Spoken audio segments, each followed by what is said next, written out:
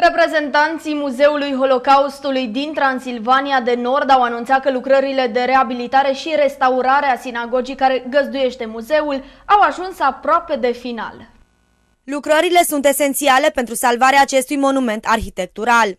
Lucrările care au început în anul 2011 sunt de fapt mai complexe. După cum bine a spus, într-adevăr s-a lucrat și la partea exterioară, dar mai mult decât atât au fost uh, inițiate lucrări în ceea ce privește partea de consolidare, partea de structură și în primul rând acoperiș.